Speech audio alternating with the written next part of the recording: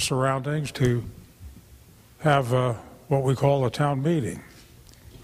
Uh, Pleased to have this opportunity to uh, meet with the Polish community.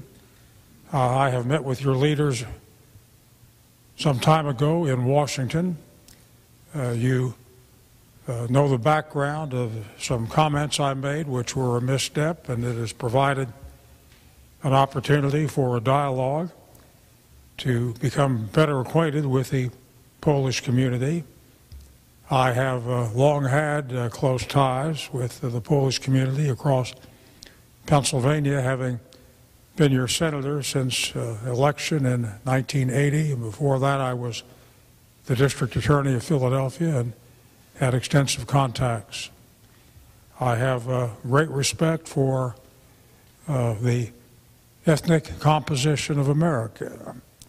We are a nation of uh, many diverse nationalities coming to this country for uh, a variety of reasons for religious freedom, for opportunities, and uh, I have had parents, both of whom were immigrants, came from uh, uh, Ukraine. Uh, there were parts of Russia and Poland close together where they traded back and forth. You couldn't tell for sure what it was originally because uh, the area had been subject to so much uh, battling and so many, so many problems. And uh, my brother, two sisters, and I have uh, been the beneficiaries of uh, immigrant parents. One of the things that I cannot do for our two sons is to uh, have them be first generation Americans. That's a distinct status. Uh, I last visited Poland uh, uh, two years ago in August of 2009. I have visited Poland on a number of occasions in the course of the past uh, uh, three uh, decades.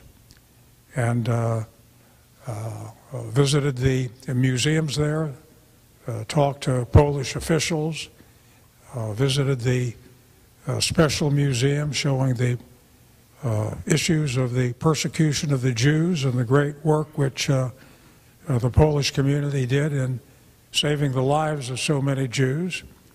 One of the items that I have discussed with your leadership is a resolution which I am now preparing uh, to recognize and thank the Polish people for their heroic efforts in saving so many lives.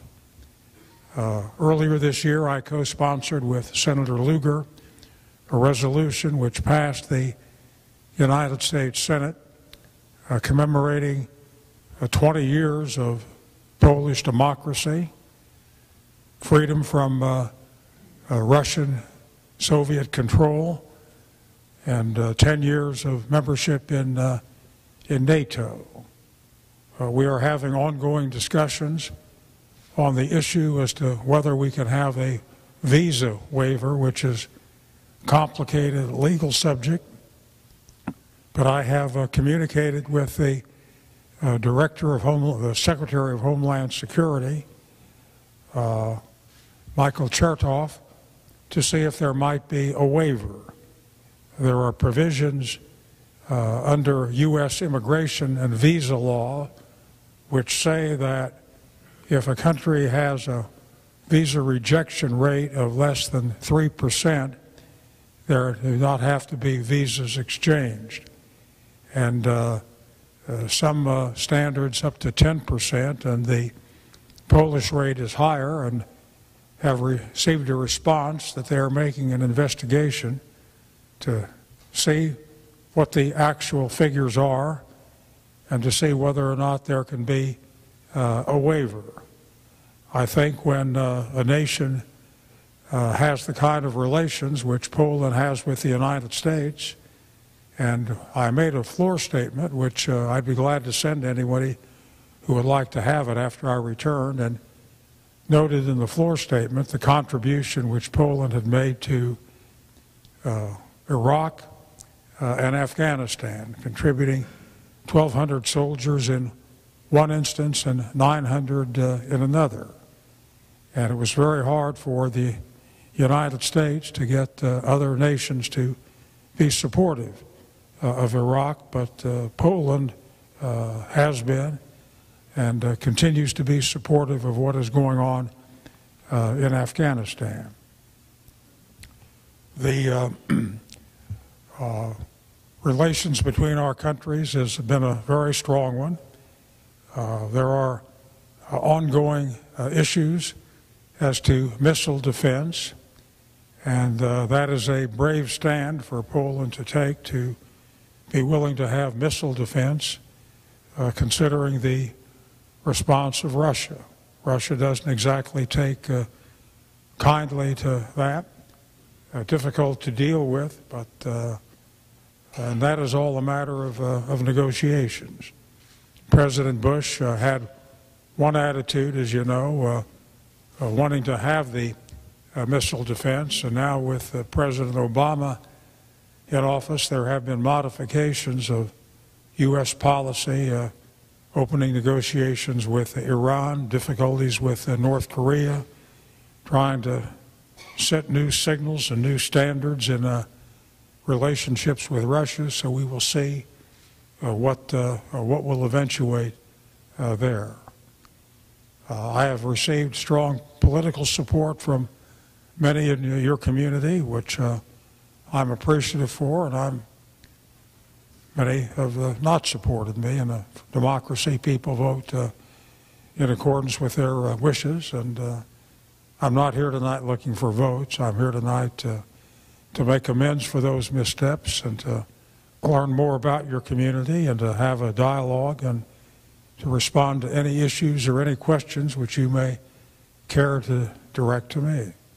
So if it's all right, uh, Mr. Chairman, may I throw the floor open for comments, observations, questions? Uh, If anybody has a, a question, like right in the in the middle there, feel free to, uh, to use it, and you can pass that microphone around to make it easier. Talk for a second. Sure, let's get the microphone. It's, it's a great honor to have you here with us. Thank you very much. Not so close, all right. And uh, well, I know you for many years because uh, I was honored to get a letter from you several years ago when I was a Fulbright scholar. Thank you very much from Pennsylvania. But I would like to make a comment on uh, visa issue and rejection rate. Uh, we know very well that uh, visa waiver depends on Congress decision. Congress decision is based on rejection rate. Rejection rate is made by United States visa authorities, consular authorities in Poland. So, if consular authorities decided to refuse more visas, that rejection rate would be higher. And sometimes uh, I had a lot of intervention from many Polish families from Pennsylvania when, for instance, a poor uh, 75 years old grandma was refused visa because, and that's my question, because of what? because she didn't know how to behave or she was so frightened during the interview that she didn't want didn't know how to give the right answer to, to the consular officer. So uh, if everything is based on rejection rate, rejection rate can always be made up by U.S. consular authorities. And that little consular uh, uh, representative of the United States in Poland can influence American Congress. Where is the sense of the whole system?